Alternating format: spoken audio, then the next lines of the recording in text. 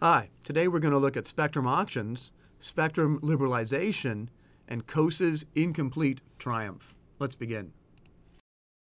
The radio spectrum is that portion of the electromagnetic spectrum which is particularly useful for communications. Now, different frequencies in the spectrum have different properties, and so they're useful for different sorts of devices. Uh, lower frequencies, for example, are able to penetrate buildings. So you can listen to an AM radio broadcast when you're inside a building, even if the tower broadcasting that signal is miles away. On the other hand, a, if you're trying to get Wi-Fi, then you need a new router on every floor of a building in order to be able to connect to the internet. Interference can reduce the value of the spectrum. So the spectrum is banded both across frequencies and over geography. So certain frequencies are allocated to television, to radio, to cell phones, to Wi-Fi, and so forth. In addition, only one AM radio station on a particular frequency is allowed in a given city, a given geographic uh, area. The banding in the United States is illustrated in this picture, although this is only a very simplified uh, representation. The current allocation, it's important to understand, has been determined more by history and by accident than by rational design or spontaneous order. For example, although it's slowly changing, there is still a large fraction of the spectrum which is allocated to over the air television broadcasts.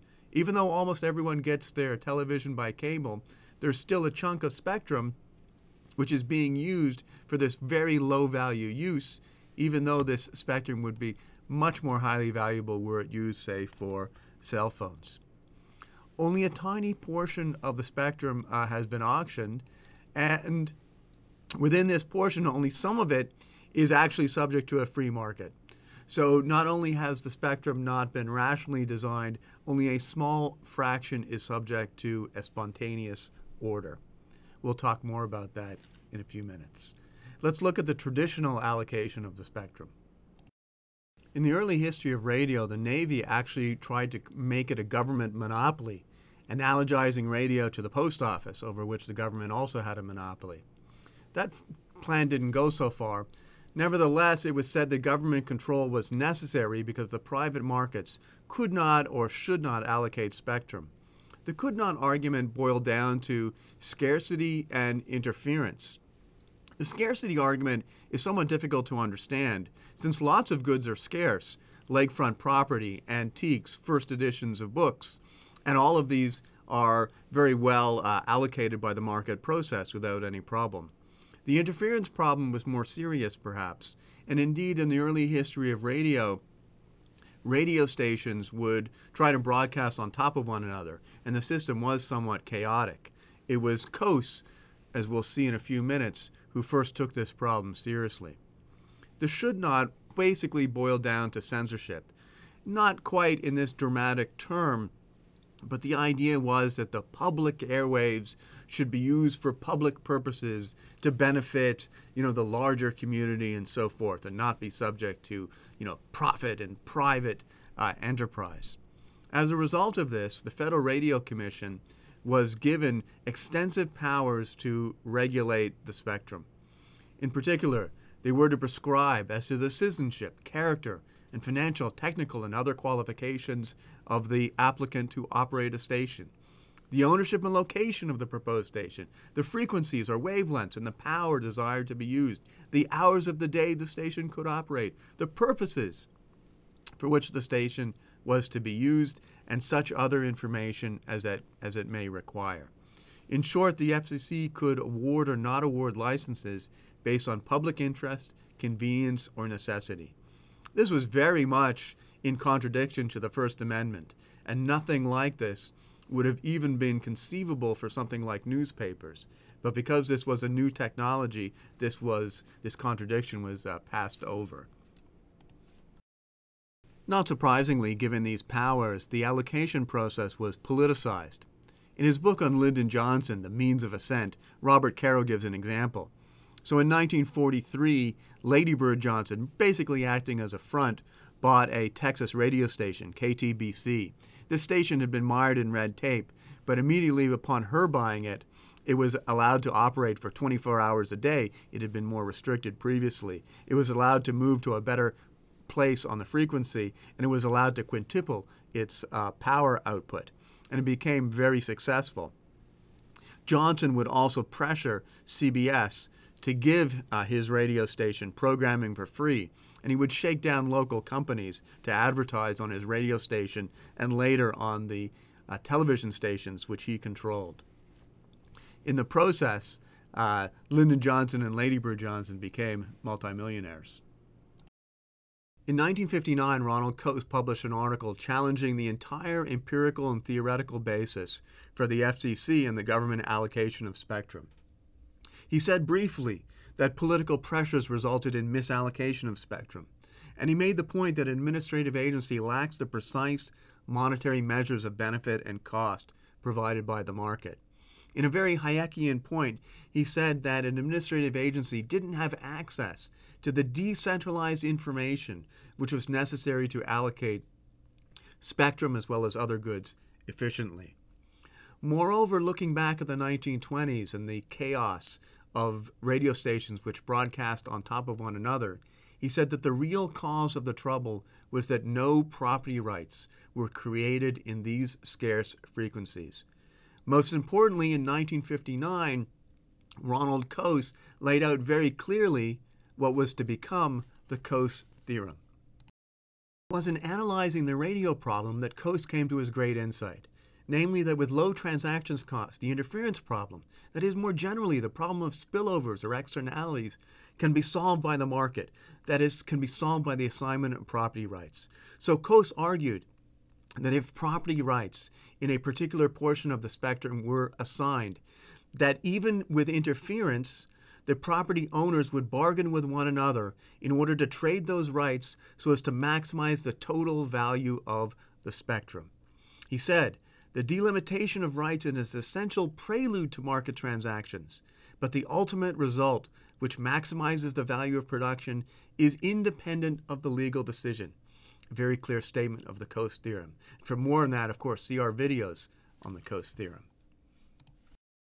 Not too surprisingly, Coase's ideas were given a poor reception by the political process.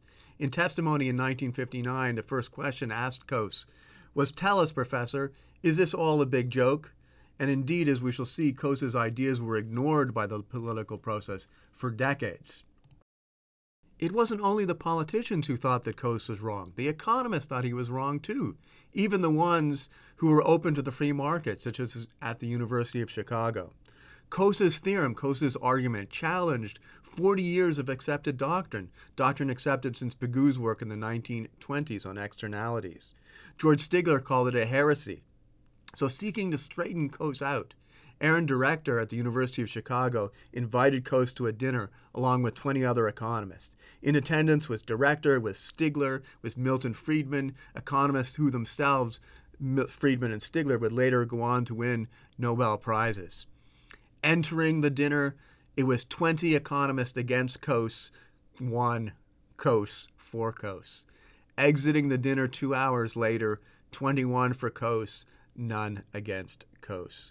Coase had triumphed. He had convinced 20 of the world's best economists that he was right and 40 years of accepted doctrine were wrong. That's how you win a Nobel Prize in economics. Coase had won over the economists, but he had certainly not won over the politicians who basically ignored his ideas for decades. However, in the late 1970s, cellular licenses became much more important, and there were very long delays in getting through the tedious FCC process. Instead of going to auctions, however, the FCC went to lotteries. Basically, this was a crazy system in which anybody in the United States can enter the lottery to become a cellular phone company. Now, uh, of course, most of the entrants couldn't operate a phone company, but paper mill companies came into being, which simply submitted off the shelf plans. The lottery winners were simply hoping to win the lottery and then resell their rights. There were over 320,000 applications for just 643 uh, cellular licenses. There was a lot of rent seeking going on, a lot of delays in aggregating these licenses to the national level. It was a very wasteful uh, and unproductive system. Finally, in 1993, the Clinton administration authorized auctions, the first of which was held in July of 1994, almost four decades after Coase's paper. The auction was immediately successful and raised a lot of money. And once the revenue implications were seen, more politicians began to be in favor of these types of auctions. And since July of 1994, the FCC has raised over $60 billion for the U.S. Treasury in these kinds of auctions. So is this a triumph? Auctions were a triumph for Coase, but very much an incomplete one. Only a small share of the spectrum has been auctioned, and an even smaller share has been auctioned with few restrictions on use.